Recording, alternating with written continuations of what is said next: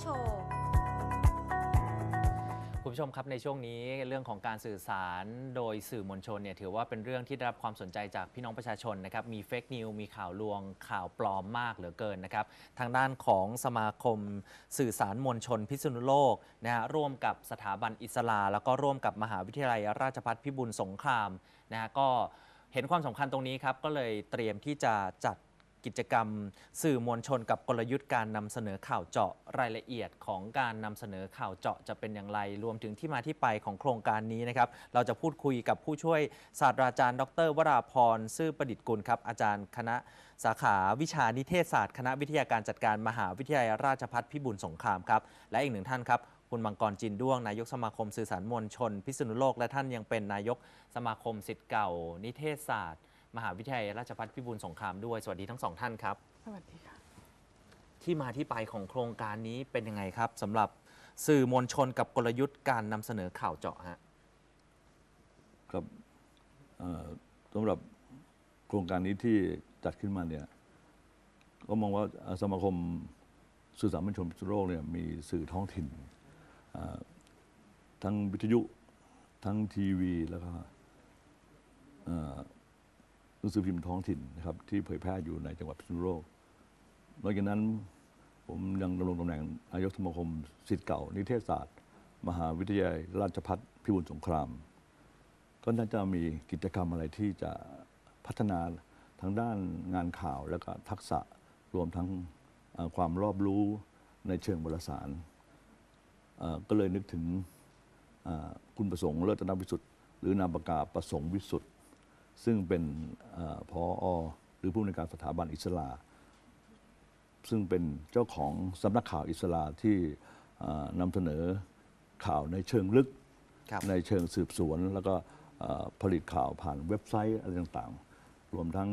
ข่าวนโยบายสาธารณะ แล้วก็เอ่อผ่านสื่อต่างๆเอ่อเป็นที่ยอมรับในวงกว้าง ตรงนี้ก็น่าจะเอ่อได้มีบทบาทในในฐานะที่จะใน ทั้งสื่อมวลชน รวมทั้งนักศึกษาของมหาวิทยาลัยราชภัฏพิบูลสงคราม โดยเฉพาะอย่างยิ่งนิเทศศาสตร์น่าจะได้มีทักษะมีความรู้มีอะไรต่างๆ ที่จะเอ่อเติบโตในวันข้างหน้าในเชิงวารสาร หรือด้านการเอ่องานข่าวนะครับการขับเคลื่อนงานข่าวในอนาคตครับครับอยากให้ท่านขยายความของคำว่าข่าวเจาะนิดหนึ่งฮะข่าวเจาะคืออะไรยังไงอะฮะครับเอ่อ จะเป็นที่น่าสังเกตว่าปัจจุบันเนี่ยนักข่าวยุคยุคเก่ากับยุคปัจจุบันเนี่ยอาจจะเป็นเพราะสื่อโซเชียลแล้วก็รวมทั้งทีวีช่องต่างๆ ไม่ว่าจะเป็นทางดิจิตอลหรือโซเชียลอะไรต่างๆเนี่ยสื่อออนไลน์เนี่ยเกิดขึ้นมากมาย การแข่งขันอาจจะมีสูง เพราะฉะนั้นนักข่าวรุ่นรุ่นใหม่กับรุ่นเก่าเนี่ยค่อนข้างจะแตกต่างกัน พอสมควรนะครับปัจจุบันนะครับ จะเห็นได้ว่าทุกวันนี้ข่าวนั้นจะสั้นแล้วก็รวดเร็ว อาจจะนักข่าวรุ่นใหม่ๆนะครับ โดยเฉพาะอย่างยิ่งนักศึกษาเองนะครับ แล้วก็คนรุ่นใหม่ที่ที่มีการศึกษาทางด้านเทิงวารสารทั้งทั้งนิเทศศาสตร์ออกมาเนี่ยส่วนใหญ่จะนำเสนอข่าวในเชิงแข่งขันซะมากกว่าเป็นป้นฆ่าจี้ตีชิงวิ่งราวข่มขืนก็ทำทำเรารถเฉียวรถชนรถคว่ำอบรมประชุมสัมมนาเปิดป้ายตัดริบบิ้น ส่วนใหญ่จะเป็นทำนองนั้นฮะครับ อย่างรวดเร็วมาก แต่นักข่าวรุ่นเก่าๆซึ่งผมในฐานะเอ่อเป็นผู้สื่อข่าวในยุคนั้นนะครับเอ่อก็เกือบสิบปีเหมือนกัน ในฐานะผู้สื่อข่าวของสบิมมติชน ประชาชาติธุรกิจ แล้วก็ข่าวสดห้อยท้ายมาอีก 3 ปีนะครับ การสนำเสนอข่าวเนี่ยค่อนข้างจะเกาะติดอย่างต่อเนื่อง เช่นผมผมผมผมยังไม่เคยเห็นนักข่าวเอ่อในปัจจุบันเนี่ย ที่นำเสนอข่าวอย่างต่อเนื่อง เช่นเป็นผมเคยนำเสนอถึง 14 ฉบับในข่าวเดียวกันนะครับ ต่อเนื่องเนี่ยรวมทั้ง8เอ่อ8วันติดต่อกันอะไรอย่างเงี้ยทุกวันนี้นักข่าวทุกวันนี้ไม่มีนะครับเล่นแล้วก็หายเลยหายเลยหายเลย บางทีเอ่อความรอบรู้หรือการต่อความต่อเนื่องเออทั้งด้านแม้กระทั่งเช่นปัจจุบันนะครับเอาสดๆร้อนๆเนี่ยอย่างไวรัสโคโรนาเนี่ย ครับ ผมจะจะเห็นว่าอ่าความต่อเนื่องจะ น้อยไปนิดนึงอะไรอย่างเงี้ยหรือ PM 2.5ฝุ่นละอองค่าฝุ่นละอองเนี่ยบางทีคนรุ่นใหม่ๆอาจจะยังยังความต่อเนื่องหรือ เพื่อให้ผู้บริโภคหรือประชาชนที่อ่านอ่านข่าวเนี่ยได้รับทราบได้รับรู้อะไรต่างๆ เหล่านี้ครับครับอ่อนี่ยังยังไม่รวมถึงข่าวในเชิงข่าวเจาะในประเด็นที่เชิงลึกของการทุจริตคอร์รัปชันหรืออะไรต่างๆ ซึ่งสำนักข่าวอิสลาเนี่ยผมว่าเป็นต้นแบบเอ่อ ในมุมมองของของของผมและก็สังคมครับ เป็นเป็นที่ยอมรับในมีมีรับมีนัยยะต่อสังคมที่ที่ที่เอ่อนำเสนอแล้วเนี่ยผมว่าเป็นที่ยอมรับพอสมควรนะครับ อย่างน้อยๆเนี่ยอ่าข่าวทุจริตคอร์รัปชันเอ่อโกงกินอะไรต่างๆเนี่ยเป็นที่ยอมรับว่าสำนักข่าวอิสลานั้น ครับ โดดเด่นมากในสังคมข่าวของประเทศนี้นะครับ ถ้าคุณผู้ชมจำได้นะฮะสำนักข่าวอิสลาเคยอ่าตีแผ่ข่าวหนึ่ง แล้วก็มีผลต่อการอ่า เหมือนกับว่าล้มรัฐบาลได้ในอดีตที่ผ่านมาค่ะนะฮะนั่นก็คืออาบทบาทของข่าวเจาะคำว่าข่าวเจาะถ้าฟังจากท่านอ่ามังกรเล่าเมื่อสักครู่คำว่าข่าวเจาะของนักข่าวนี้น่าจะเป็นข่าวเชิงลึกอย่างนั้นไหมฮะ ให้กับประชาชนแน่นอนแล้วก็มีการตามติดอย่างต่อเนื่อง เชิงลึกแล้วก็ต่อเนื่องด้วยนะคะค่ะในเรื่องประเด็นเดียว แต่ว่ามีการที่จะสืบเนื่องในประเด็นออกไปให้มันลึกลงลึกลงขึ้นมา จนเกิดความกระจ่างชัด โดยเฉพาะอย่างยิ่งข่าวที่มีผลกระทบต่อสังคมบางทีนักข่าวรุ่นใหม่ๆอาจจะมีความความกลัวความกล้าอะไรโดยเฉพาะอย่างยิ่งคุณประสงค์นี่จริง ๆ แล้วเนี่ยครับ อยากจะนำเรียนว่า เขาเคยเป็นผู้สื่อข่าวหนังสือพิมพ์มติชนและประชาชาติธุรกิจ ในช่วงที่ผมทำอยู่ ก็เลยมีความผูกพันทางใจตรงนี้นะครับ แล้วก็พวกเราเองเนี่ยเป็นผู้สื่อข่าวในในโซนภาคเหนือเนี่ยโดยเฉพาะอย่างยิ่งในอดีตเนี่ยหนังสือพิมพ์มติชนเนี่ย ได้ใช้บุคลากรของกรมประชาสัมพันธ์หลาย ๆ คนครับที่มีชื่อเสียงโดดเด่น อย่างเช่น คุณเจตพิริยาสัตบันหรือเจตอริยสมบัติเป็นผู้ประกาศของช่องแปดลำปางนะนั้นเคยได้รับรางวัลพูลิเซอร์จากข่าวแม่เมาะอ่าส่วนใหญ่แล้วในมติชนเนี่ยอาจจะเลือกใช้คนของกรมประชาสัมพันธ์เนี่ยแม้กระทั่งคุณสาโรธเพ่งจุ่มก็เคยเป็นผู้สื่อข่าวประจำจังหวัดน่าน อดีตประธานพันธ์จังหวัดนะครับ แล้วก็ ผมเองประจำชีวิตสุนทรโลก เพราะฉะนั้น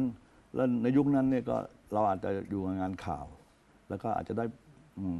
มีมีมีผลต่อต่อต่อต่อต่องานข่าวในแง่ของความถูกต้องความชัดเจน และความอ่าจริยธรรมจรรยาบรรณอะไรต่างๆเนี่ยครับอาจจะรวมอยู่ตรงนี้ก็เลยมติชนก็เลยส่วนใหญ่จะเลือกใช้อ่าผู้สื่อข่าวจากกรมประชาสัมพันธ์ในในในในภูมิภาคในขณะที่เขาตั้งผู้สื่อข่าวขึ้นมาใหม่ ๆ แล้วก็เลยมีความผูกพันกับคุณประสงค์ ตรงนี้ก็เคยมาผูมาพิษณุโลกมาหลายหลายหลายครั้งครับ ตรงนี้ก็เลยยกหูไปว่า ขอในฐานะนั้นที่ผมเป็นนายกสมาคมสื่อสารมวลชนพิษณุโลกแล้วก็เป็นนายกสมาคมฟิดเก่านิเทศศาสตร์อ่าพิบูลสงครามเนี่ยน่าจะน้องๆรุ่นหลังๆนี่ก็น่าจะได้ประโยชน์ก่อนที่พวกเราจะแก่กันไปอะไรอย่างนี้ทำนองนี้คครัรับบผมนั่นคือที่มาค่ะนะฮะของการจัดกิจกรรมนี้ ทีนี้ขออนุญาตเรียนถามอาจารย์นิดนึงเกี่ยวกับเรื่องของความแตกต่าง อาจารย์จะเห็นจากท่านอาจารย์มังกรที่ที่มีความเก๋าเกมละในด้านของเรื่องของสื่อมวลชนนะคะ กับปัจจุบันอาจารย์จะใกล้ชิดกับนักศึกษาค่ะนักศึกษาเนี่ยเป็นยังไงคะในเรื่องของการรับสารสื่อสาร หรือนักศึกษาที่เรียนกับเราเนี่ยเขามีการเผยแพร่สื่อออกไปยังไงในขณะที่เราสอนเราให้เขาทำงานเนี่ยมีความแตกต่างกันยังไงคะโอ้ต้องบอกว่าในมุมของวิชาการเนี่ยเราเห็นความเปลี่ยนแปลงต่อในในใน ในเรื่องของสื่อมวลชน แล้วก็การนำเสนอข่าว บทบาทของสื่อเปลี่ยนไปนะคะ ก็พยายามบอกเขาเสมอว่าจริง ๆ ทุกวันนี้เราอยู่กับโลกของสื่อสองแบบ สื่อเก่าหรือ tradition media ทีวีวิทยุหนังสือพิมพ์อะไรพวกนี้นะคะ เราก็เล่าให้ฟังว่าจริง ๆ บทบาทของสื่อในยุคก่อนหน้านี้ เนื่องจากมีเวลาในการ ทำงานเต็มที่ที่จะทุ่มเทให้กับข่าวที่มีลักษณะเชิงลึกแล้วก็ต่อเนื่อง ซึ่งเด็กเนี่ยไม่เข้าใจเด็กไม่รู้จักครับเด็กรุ่นรุ่นประมาณเอ่อปีหนึ่งปีสองอายุไม่ถึง 20ปีเนี่ย คือมองภาพไม่ออกอะนะคะ เพราะว่าเขาโตขึ้นมาพร้อมกับข่าวรายวัน ซึ่งเราบอกว่าเป็นข่าวกระแสหลัก เราค่ะพยายามจะบอกเขาอย่างนั้น แต่ต้องดูที่คุณค่าของข่าวว่าไอ้ข่าวกระแสหลักที่เล่นไปวันวันๆหนึ่งมันไม่เกิดประโยชน์อะไรเท่าไหร่ คือมันไม่ไม่เคยพูดถึงในเนื้อหาของข่าวในเชิงลึกในมิติของการแก้ปัญหา หรือชี้นำอะไรให้สังคม คือไม่แทบไม่ได้เกิดประโยชน์อะไรเลย พวกหนูเองก็คงเคยเห็นว่าข่าวที่เราเสพอยู่ทุกวันเนี้ยคือมันมีลักษณะที่เป็นข่าวรายวัน แล้วก็นำเสนอแล้วก็จบไป แล้วก็ถามว่า เอ้ยเราได้อะไรจากการดูข่าว แทบไม่ได้อะไรเลยนะคะ ทะเลาะกันที่ร้านก๋วยเตี๋ยวแม่ค้าจะเอาอย่างลูกค้าจะเอาอย่างจบไป ไม่เกิดประโยชน์ไม่ได้ให้บทเรียนอะไรกับสังคม กับข่าวที่เราพยายามจะบอกเด็กว่าเฮ้ยจริง ๆ มันมันเกิดประโยชน์เหมือนที่น้องพูดสักครู่นะคะว่ามันถึงขั้นที่จะทำให้รัฐบาลต้องประกาศยุติบทบาท หรือรัฐมนตรีบางคนจะต้องลาออก นั่นคือในอดีตที่ข่าวเจาะเนี่ยมันสร้างคุณค่าเอาไว้ให้ แต่ณขณะนี้ด้วยความที่สังคมมันเปลี่ยนไป สื่อใหม่เกิดขึ้นเร็วมาก แล้วทุกคนก็มีมีบทบาทของการเป็นนักข่าว ด้วยตัวของเขาเอง ถูกไหมคะ ค่ะ วันนี้ฉันจะผูกคอตาย ฉันก็เผยแพร่ภาพฉัน อันนี้แปลว่าเขากำลังเล่นบทของผู้สื่อข่าว แล้วเขาเองก็เป็นตัวแสดงในในในข่าวด้วย นั่นคือสิ่งที่มันเกิดขึ้น มันเปลี่ยนไปหมดเลย แล้วก็มันกลายเป็นกระแสทั่วโลกว่าทุกวันนี้มันไม่ใช่เกิดขึ้นเฉพาะในเมืองไทยนะคะ มันเกิดขึ้นทั่วโลกว่า ทั่วโลกก็หันมาเสพข่าวแบบนี้ แล้วทุกคนก็ลืมว่ามันเคยมีข่าวเจาะ ซึ่งส่งผลกระทบต่อสังคมอย่างใหญ่หลวง มันมันก่อให้เกิดการเปลี่ยนแปลงทางสังคมได้ ทุกคนบอกว่ามันใช้เวลานาน มันจะต้องมีสมาธิ แต่ฉันเนี่ยฉันต้องการดูข่าวในขณะที่ฉันกดบัตรคิว แล้วก็รอในในธนาคาร ฉันอยากดูแค่สองนาที ฉันก็ได้ตั้งหลายข่าว เพราะฉะนั้นพฤติกรรมของคนดูก็เปลี่ยนไป เมื่อพฤติกรรมคนดูเปลี่ยนไป คนดูก็ไม่ชอบข่าวเจาะ คนทำข่าวก็รู้สึกว่าฉันทุ่มเทเวลาไปเป็นเดือนแรมเดือนแรมปีแต่สุดท้าย ไม่มีคนดูโฆษณาไม่เข้า หรืออะไรก็ตาม ยอดคลิกไม่ไม่ไม่ขึ้นทำไปเพื่ออะไรลงทุนมหาศาล ทั้งแรงกายแรงเงินทุกอย่าง แต่ไม่มีคนดูนะคะ แต่เราในฐานะนักวิชาการก็ยังยืนยันว่า สิ่งนี้มีความจำเป็น แล้วก็พยายามสอนว่ายังไงซะถ้าคุณเรียนบารสารศาสตร์ คุณทิ้งไม่ได้นะคะ คุณทิ้งไม่ได้เลย ไม่ว่าจะด้วยสังคมบริบทอะไรที่มันเปลี่ยนไปก็ตาม แต่เรื่องเนี้ยยังคงมีความสำคัญ และจำเป็นต่อสังคมอย่างมากนะคะค่ะด้วยด้วยด้วยสถานการณ์แบบนี้เนี่ยเราก็ยังต้องพยุงเอาไว้ แต่มันก็มีทางออกนะคะ และนั่นก็คือที่มาของการจัดกิจกรรมในครั้งนี้ใช่ไหมคะใช่ค่ะค่ะ แล้วมีรายละเอียดของการจัดงานในครั้งนี้อย่างไร แล้วก็มีกำหนดการในการที่จะจัดยังไงคะ ค่ะก็ก็ต้องต้องเรียนตรงๆว่าไอ้เนื้อหาลักษณะนี้มันค่อนข้างหนักนะคะคุณประสงค์เองก็บอกว่าไม่ต้องพูดเยอะ เพราะว่าเอาเนื้อเนื้อๆนะคะ ก็เลยเริ่มต้นที่ 10โมงแล้วก็ใช้เวลาในการพูดคุยกันสักชั่วโมงหนึ่งหลังจากนั้นก็เปิดเวทีให้ เด็กๆเข้ามาสักถามนะคะว่าเออจริง ๆ เด็กอาจจะห่างอย่างที่บอกนะคะ แต่เขาสามารถจะเรียนรู้ได้ จากเวทีแล้วก็มีคำถามที่สะท้อนขึ้นไปว่าเขามีเขามีมุมมองยังไงนะคะ เป็นการแลกเปลี่ยนระหว่างวิทยากรทั้งสองท่านกับผู้ฟังรวมทั้งสื่อมวลชนที่เข้าฟังด้วย ซึ่งคาดว่า น่าจะเห็นความสำคัญนะคะ แล้วก็คือโอกาสแบบนี้ไม่ค่อยได้เกิดขึ้นบ่อยๆคุณประสงค์เองเนี่ยเป็นเบอร์ต้นๆของประเทศก็ว่าได้นะคะค่ะในการนำเสนอข่าวเจาะ เพราะว่าเมื่อไหร่ก็ตามอย่างครูเนี่ยเรียนวารสารศาสตร์มาเนี่ยเห็นเลยว่าถ้าเมื่อไหร่ที่พูดถึงข่าวเจาะ ชื่อของประสงค์เลิศรัตนวิสุทธ์มันจะขึ้นมาทันทีนะคะเราเราก็เป็นอะไรที่งานของเราซึ่งเป็นระดับภูมิภาคอย่างนี้ แต่ว่า คุณประสงค์ก็ให้เกียรติมาให้ ก็คิดว่าสื่อเอง ซึ่งซึ่งตรงนี้เราก็เชิญด้วยนะคะครับแล้วก็ส่วนหนึ่งก็อยู่ในสมาคมอยู่แล้วนะคะ ก็คิดว่าทุกคนจะให้ความสำคัญแล้วก็เข้ามาร่วมแลกเปลี่ยนกันค่ะค่ะอาจารย์ครับถามเพิ่มเติมหลักสูตรการเรียนการสอนของนิเทศศาสตร์ ราชภัฏพิบูลสงครามเนี่ยตอนนี้ยังอ่า เราเราได้มีเกี่ยวกับเรื่องของข่าวเจาะข่าวอะไรอย่างนี้ไหมฮะมีค่ะมีคุณนี่แหละเป็นคนสอนเองอืมนะคะเอ่อข่าวทั่ว ๆ ไปอย่างที่เรากำลังพูดเนี่ยภาษาอังกฤษบอกว่ามันเป็นวิชาพื้นฐานนะคะซึ่งซึ่งซึ่งเราเรามองว่าไม่ว่าจะสาขาอะไรก็ต้องก็ต้องเรียนพื้นฐานในเรื่องของการเขียนข่าว แต่พอไปเอ่อวิชาสื่อข่าวขั้นสูง ซึ่งข่าวเจาะเนี่ยมันจะไปอยู่สื่อข่าวชั้นสูง เรากลับใช้คำว่า journalism reporting ซึ่งแปลว่าจิตวิญญาณของความเป็นวารสารเนี่ยมันต้องทุ่มให้กับการทำข่าวอย่างนี้ เพราะฉะนั้นมันไม่ใช่เพียงแค่การรายงานข่าวเบื้องต้น แต่อันนี้คือความเป็นนักบารสารมืออาชีพเนี่ยมันจะต้องลงไปที่ข่าวเจาะ ซึ่งมันยากมากนะคะ สอนวิชานี้มาเนี่ยเราพบว่าความเปลี่ยนแปลงในทางสังคมเนี่ยมันส่งผลให้เราสอนวิชานี้ยากมากเลย เพเพราะอย่างที่บอกว่ายกตัวอย่างไม่ได้ เอามาให้อ่านมันก็ส่วนใหญ่มันก็จะกลายเป็นข่าวในหนังสือพิมพ์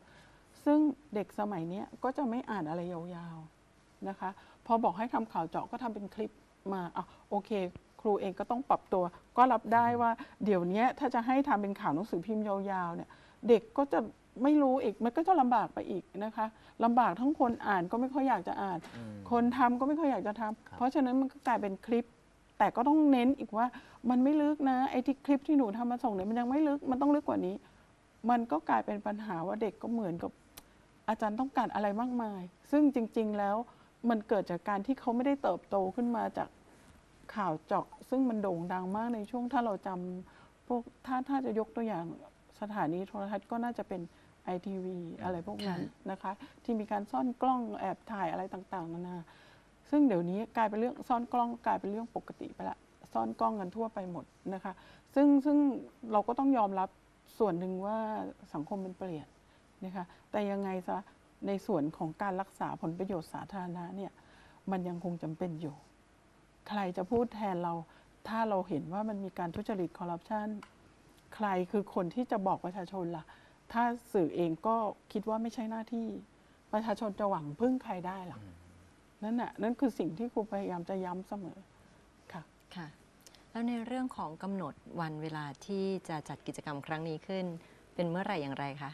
เป็นพรุ่งนี้ค่ะวันที่วันพฤหัสที่ 30 ค่ะ 10โมงถึงเที่ยงที่ห้องประชุมใหญ่ของคณะวิทยาการจัดการที่ทะเลแก้วค่ะ แล้วก็เป็นส่วนของอาคือคุณมกรเองอาจจะบอกว่าทะเลแก้วค่อนข้างจะแบบ ไกลไปนิดนึงนะคะ แต่เราก็คิดว่าถ้าเป็นแฟนพันธ์แท้ แล้วก็เข้าใจว่ามันสำคัญ แล้วมันจำเป็นยังไงก็คงต้องต้องไปเจอกันที่นั่นนะคะค่ะ ค่ะ ครับผมอ่าคุณมังกรครับคาดหวังอะไรครับในฐานะของสื่อมวลชนหลังจากการอบรมในครั้งนี้แล้ว ครับก็ไม่ใช่เฉพาะสื่อเท่านั้นนะครับว่าทางสมาคมเองก็มีการเชิญชวนและขณะนี้มีอ่าบุคคลภายนอกที่สนใจดูคำว่าอ่า สำนักข่าวอิสลาเนี่ยพอได้ยินชื่อประสงค์เนี่ยทุกคนจะติดต่อมาแล้วก็ทั้งบุคคลภายนอก เราเราก็เปิดโอกาสเลยครับ ที่เขาอยากสนใจที่อยากจะรับฟังเลยว่าทำไมสำนักข่าวอิสลานั้นกล้าหาญที่จะอ่าล้วงลึกลับเข้าไปในในข้อมูลต่างๆนะครับ โดยเฉพาะอย่างยิ่งกับปปชนะครับซึ่งสำนักงานคณะกรรมการป้องกันและปราบปรามการทุจริตแห่งชาติเนี่ย จะสังเกตได้ว่าทางสำนักข่าวอิสลาเนี่จะเจาะ เหมือนกับผมทำเว็บไซต์ notternewthailand.com ขึ้นมาเนี่ยเป็นโดยเฉพาะอย่างยิ่งนะครับ คือคือศักยภาพของเราเนี่ยอาจจะไปได้ไม่ทั่วถึง แต่ในโซน 9 จังหวัดภาคเหนือตอนล่างเนี่ยที่ผ่านมาเนี่ยผมว่าเว็บไซต์ Northern New เนี่ยได้เกาะติดแล้วก็เจาะลึกในในในตรงนี้นะครับ ที่สำคัญกำลังจะบอก ผมกำลังจะบอกว่า ต้องมีแหล่งข่าว ต้องมีให้เกิดความเชื่อถืออกับแหล่งข่าวด้วย แล้วก็ที่จะหนึ่งไม่ให้มีผลกระทบต่อแหล่งข่าว เมื่อเมื่อเมื่อเมื่อได้ข้อมูลมาแล้ว ตรงนี้นะครับลักษณะของข่าวเจาะของดรวราพรเนี่ยที่ที่พูดถึงออย่างเช่นเมื่อสามสี่วันที่ผ่านมาเนี่ยนอตเทนนิวได้นำเสนอข่าวอย่างผมยกตัวขออนุญาตยกตัวอย่างนะครับเกี่ยวกับฝุ่นละอองค่าฝุ่นละออง PM 2.5 ผู้สื่อข่าวมันก็จะต้องแสวงหา แล้วก็ทำมันยังไง ที่จะต้องสิ่งที่มีผลกระทบนั้นจะต้องสัมภาษณ์ผู้ที่รับผิดชอบ หรือผู้ที่เกี่ยวข้องมาให้ได้ นี่คือเป็นความต่อเนื่องของงานข่าวนะครับ เปิดประเด็นก็คือทั้งนี้ทั้งนั้นต้องเปิดไปที่โมดิสนะครับของเจสดาว่าเป็นที่ยอมรับว่าอ่าภาพถ่ายระบบดาวเทียมของโมดิสเนี่ยได้รับการยอมรับในระดับประเทศเนี่ยว่าค่าฝุ่นละอองเนี่ยเกิดขึ้นที่สูงสุดในจังหวัดกำแพงเพชร นะครับ ตรงนี้ทำไงผู้ว่าว่าไงฮะก็ก็ต้องใช้ตรงนี้แม้จะไม่รู้จักกับท่าน แล้วเราไม่มีโอกาสที่เดินทางไปก็อาจจะขอความร่วมมือทางประชาพันธ์จังหวัดว่าขอสัมภาษณ์ท่านผู้ว่าหน่อยได้ไหมขอประสานให้หน่อยอย่างนี้อย่างนี้แล้วก็สาธารณสุขจังหวัดท่านอาจจะกลัวเพราะว่าไม่รู้จักแต่ใช้เวลานานมากติดต่อตั้งแต่เช้ามันไม่ได้จนบ่ายเย็นครับ ตรงนี้แล้วมีผลกระทบต่อจังหวัดข้างเคียงไหมก็ต้องสัมภาษณ์สาธารณสุขจังหวัดพิษณุโลกว่ายังไงขณะนี้ ฟุ้งกระจายมาที่กระทบมีมีผลต่อสุขภาพของประชาชน นี่นี่คือความต่อเนื่องนะครับอ่าก็ต้องสัมภาษณ์มาที่นี่พื้นที่จังหวัดนครสวรรค์สาธารณสุขจังหวัดว่าไงครับ อ่าแล้วเครื่องอาคุณภาพตรงนี้เนี่ยเป็นยังไง ท่านกำลังจะบอกว่าการทำข่าวอ่าโดยการมีการหาแหล่งข้อมูล มีเครือข่าย แล้วก็มีการทำอย่างต่อเนื่องเนี่ยจะส่งผลต่อสังคมด้วยครับ ครับ มีความเปลี่ยนแปลงต่อสังคม มันมันมันต้องให้ให้ให้ความ ให้เขาเกิดความเชื่อถือด้วยตรงนี้ครับ สำคัญนะครับ ตรงนี้สำคัญที่การที่จะนำเสนอข่าวเจาะได้ หรือว่ามีความต่อเนื่องเนี่ยแล้วก็ให้มีการสร้างความสัมพันธ์กับผู้คนบ้างท่านจะเห็นได้ว่านักข่าวปัจจุบันเนี่ยเออพอทำข่าวเสร็จปุ๊บถ่ายแป๊บๆๆรีบกลับแล้วอืมไม่มีความสัมพันธ์กับผู้คนเลย ครับ เพราะฉะนั้นชื่อตำแหน่งยศอะไรต่างๆ ต้องแม่นด้วยนะครับครับเอ่อแม้กระทั่งตัวย่อ อืม ตรงนี้สำคัญนะครับ ครับไม่ใช่เฉพาะเอ่อ มีมีความสามารถในเรื่องของการเจาะข่าวเปิดประเด็นข่าวอย่างเดียวเท่านั้น แต่ตำแหน่งยศครับ ชื่อนามสกุล